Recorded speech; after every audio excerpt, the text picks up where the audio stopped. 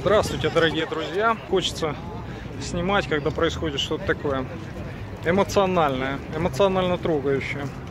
Кто смотрел видео «Уникальная история Асиной беременности», вот, вот ее беременности, тот знает, как обнесли, обнесли, в смысле, ограбили мою машину, Чистили. обчистили, да, Маш- пакет, А э, купленный практически за последние деньги, но это не считая лекарств дорогостоящих.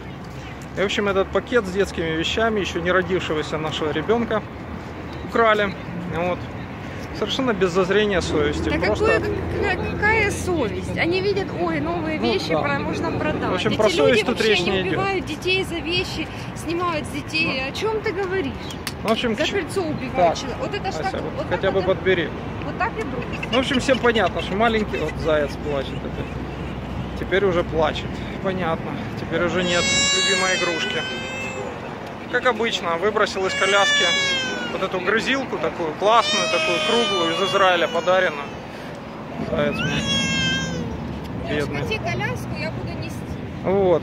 Такая классная, красочная была, круглая, большая. Наверное, дорогая, не знаю. Ну, во всяком случае, у нас я таких не видел. Такая, знаете, мягкая Кто мягкая? э, эта штука. Такая резиновая. Она не мягкая, Вот, да, грызун такой. В общем, он вы ее выбросил. Мы прошли несколько метров буквально, обнаружили, что его нет. Буквально прошло, ну я не знаю, ну может две минуты. Мы ж бегом назад проверять. Нету, нигде нет. По прямой шли, просто равнина. Обзор кругом, обзор кругом на 150 метров. Да. Нигде нет. Вот как такое может быть? А до этого мы шли и положили шапочку, кем-то потерянную детскую, на парапет. Кто-то потерял шапочку детскую. Но шапочка не очень нужна. Зато такая красочная, классная штука явно кому-то нужна. Ой, ребята, пока у нас без зазрения совести будут грабить крутных детей, не знаю, из дерьма мы не выберемся. Это просто за гранью добра и зла. Я всегда говорю, что это просто пипец полный. Ну не знаю, это как ограбить больного старика, немощного, инвалида. Вот точно так же ребенка грудного. Сколько нужно иметь вот подлости в организме, говна, чтобы такое сделать? И вот среди всего этого мы живем. Ежедневно смотрим на этих людей, которые нам мило улыбаются. И тут же крадут у нашего ребенка. Удивительное место. Как можно иметь потом чувство патриотизма, ребят? Как можно любить свою страну, если она населена вот такими людьми?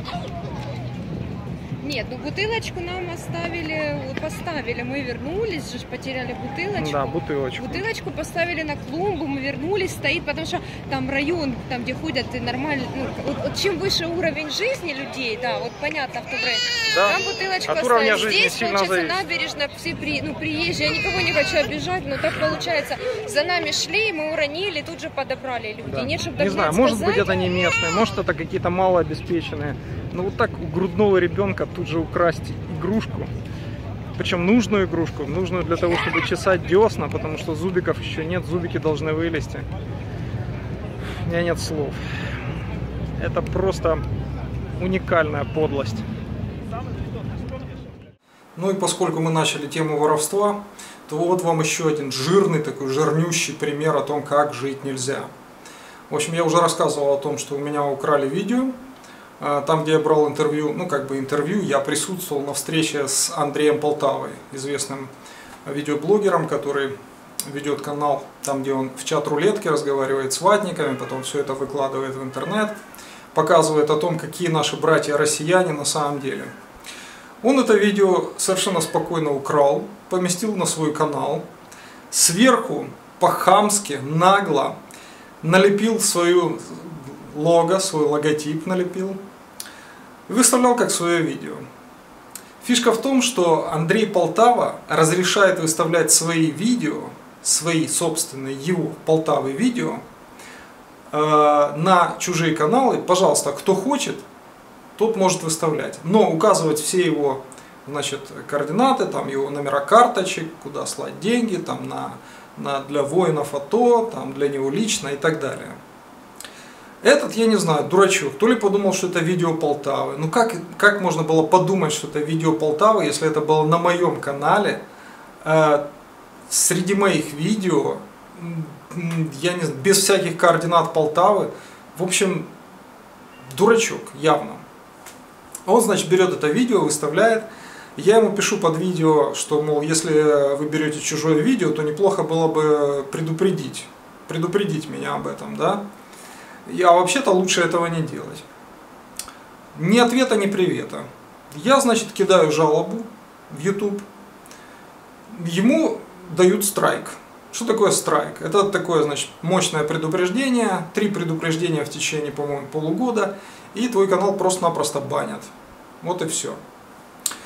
А, это существо, извините, я его по-другому не могу называть, мне пишет в таком ключе, мол, слышь ты, разбань, там это, сними страйк, сними страйк. Я ж, какой страйк, что? Я написал жалобу. Ну, мне страйк из-за тебя выписали, слышь, отзови жалобу. Я говорю, что, мол, поезд ушел, чувак. Во-первых, не надо ко мне так нагло обращаться, во-вторых, э, ни здрасте, ни извините, на ты. Что за хамство вообще? Я вообще терпеть не могу такое отношение. Ты украл мое видео, имел наглость. И теперь ты в таком тоне со мной общаешься? Не, чувак, я не буду ничего отзывать и гуляю вальсом. Спустя какое-то время, я уже забыл, забыл думать об этом, он мне опять пишет. Сейчас я вам прочитаю. Назовем его для, для проформы Жорик. Окей. Привет, пишу тебе по поводу твоего страйка на ютубе. Как с тобой договориться, чтобы ты его отозвал? Как с тобой договориться? Страйки раздаю не я, а YouTube. Значит, было за что, как ты считаешь? Ну, то есть я уже изначально настроен против этого человека. Да? Я имею в виду жалобу. Я ему отвечаю, я вопрос задал. Это ты так посчитал. Что я посчитал? Жалобу ты накатал. Ты накатал жалобу, он мне говорит. Да, ты не понял причины, отвечаю я. Он говорит, мне важно, чтобы ты отозвал свою жалобу. Жалобу, чтобы ты отозвал свою. Я говорю, мне похер, что тебе важно, отвечаю я. Ты считаешь, что ты прав?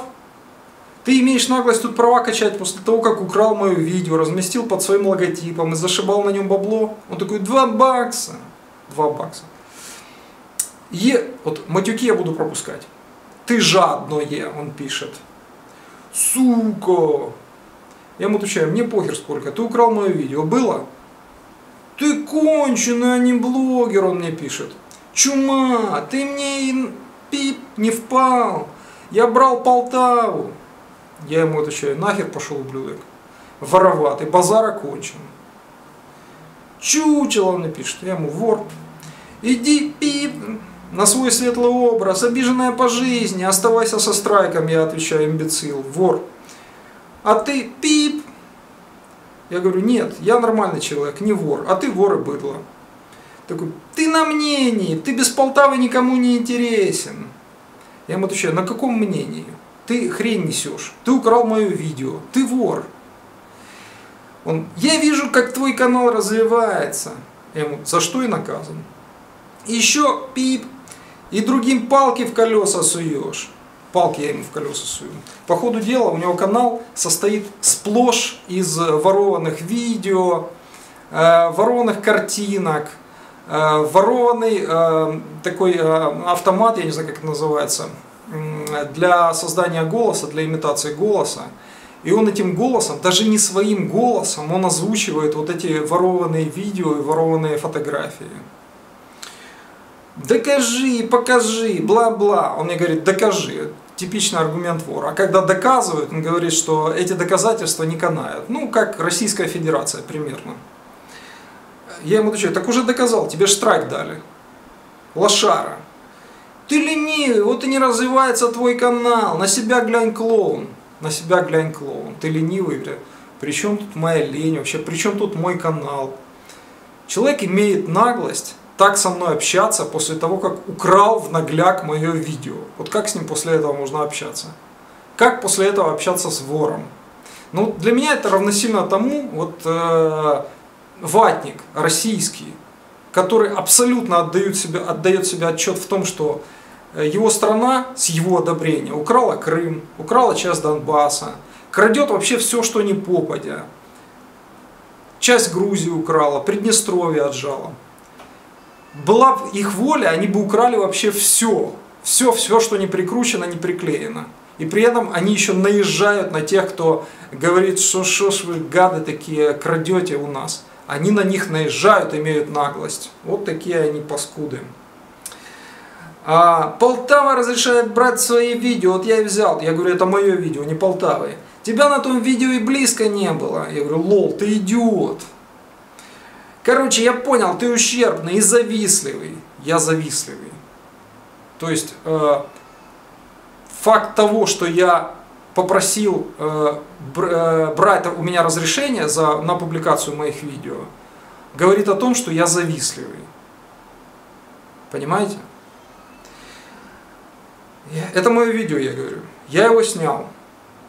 И я есть на видео Полтавы. И там видно, как я снимаю.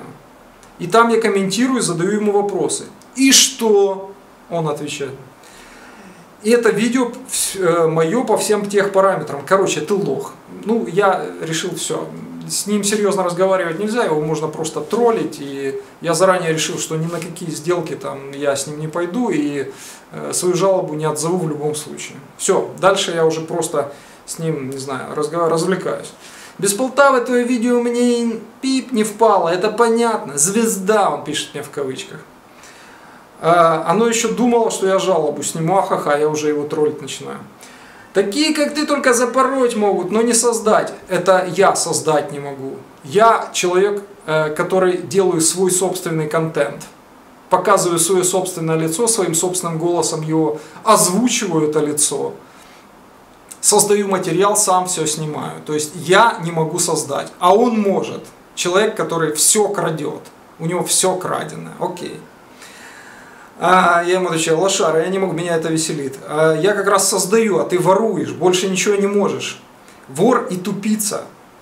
Зато, говорит он, и это очень важно, у меня 45 тысяч, а у тебя 2 тысячи. Понимаете? Абсолютная аналогия с Российской Федерацией.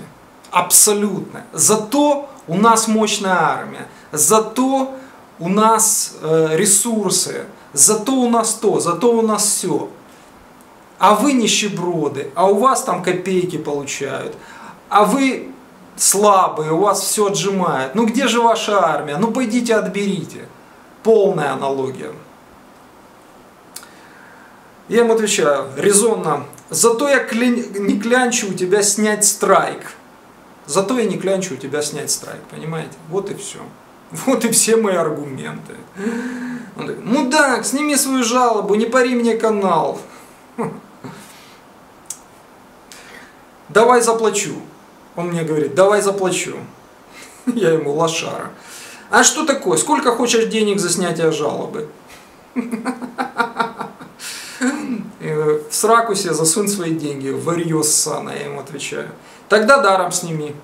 Вот это такой тип людей, а, которые в реале себя представляют вот такое чмецо, которое ничего не может, боится показать свое лицо, всегда прячется за кем-нибудь и из-под тишка всегда подворовывает. А когда вот кто-то там большой и сильный на него в детстве нападал, он всегда звал там э, брата или папу или кого-то, да, но никогда не мог себя защитить. И все делал вот такой, вот такой подлинно, так, из-под тишка, все подлинно так делаем. Тогда даром с ними. Они такие липучие, такие клейкие, вязкие, такие такие вот мерзенькие такие личности. Я ему, пшел, пшел пес вороватый, мне скучно с тобой. Тебя жаба задавила, так давай твою жабу покормлю. 500 гривен хочешь? Он меня решил купить. О боже, меня так богато и жирно еще никто не покупал. 500 гривен. О господи, сейчас доллар по 27. 500 гривен. Пиши номер карты, говорит, сброшу деньги. Слушай, Полтава на моем канале никогда не был хедлайнером, 3000-5000 просмотров. Твое видео взял, взял для заполнения информационного вакуума. Ну, просто так он взял мое видео. Ну, не корости ради, а только волю пославшей его жены. Как получилось в твоем видео? Есть выдал, его выдало в рекомендованных, я его открыл, посмотрел, скачал. Я знать не знал, что это видео не Полтавы, так как он разрешает перезаливать свои видео. Вот я перезалил, все, все его реквизиты Полтавы были указаны в описании. И, кстати, ты писал, что предупреждал, мол, меня, что страйк получу, но почему-то я нигде сообщения от тебя не видел. Он не видел сообщения. Сообщение провисело несколько часов, он его не удосужился прочитать, после чего я кинул жалобу, и спустя какое-то время а, ему выписали страйк. Я ему отвечаю, ну смотри, ты дурак. Дурак, что не проверил авторство видео раз. Дурак, что вместо того, чтобы покаяться, что украл мое видео, случайно или нет, меня не волнует. Ты стал быковать. Если бы ты начал с извинений, я бы подумал. И это правда. А теперь мне думать нечего. Наказан ты заслуженно.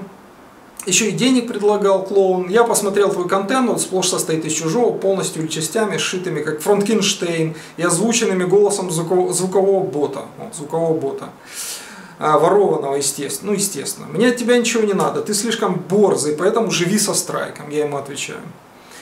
А ты посмотрел описание этого канала? Я этого никогда не скрывал, что много на нем не моих видео. То есть человек наглый до того, что он даже не отпирается. Он прямо признает, да, я вор, да, у меня видео не, не свои, да, я ворую, да, я зарабатываю на чужом контенте. И что? Я говорю, прекрасно, думаю, YouTube заинтересуется, заинтересуется и прочими твоими украденными видео. А, скажи ты, он думает опять, как бы меня купить. Скажи ты, тешишь сейчас свое самолюбие. Вот, к примеру, знаю один кунштюк, кунштюк он знает, благодаря которому э, канал зарабатывает на 30% больше. Слушай, какой бы, то ни был, какой бы ни был у меня канал, это не отменяет тот факт, что я над ним работал. Работал он над ним.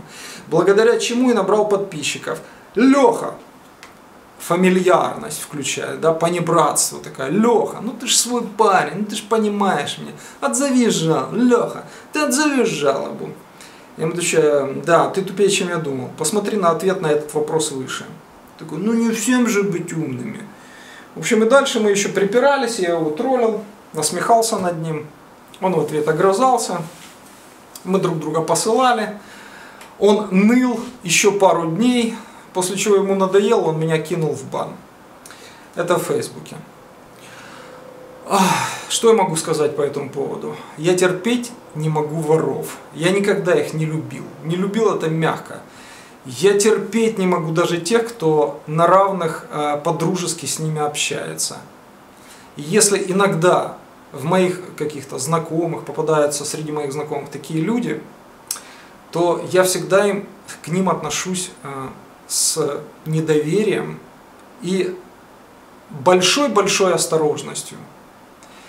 Потому что воровать это, вот верующий сказал бы, грешно, я просто скажу, это очень плохо, это погано, это отвратительно. Воровство всегда приводит к каким-то тяжелым, так сказать, моральным последствиям, когда человек просто начинает разлагаться как личность. Воровать это плохо, ребята. Не воруйте никогда. У меня был случай, когда мне выписали страйк, кто, кто давно на моем канале, тот знает.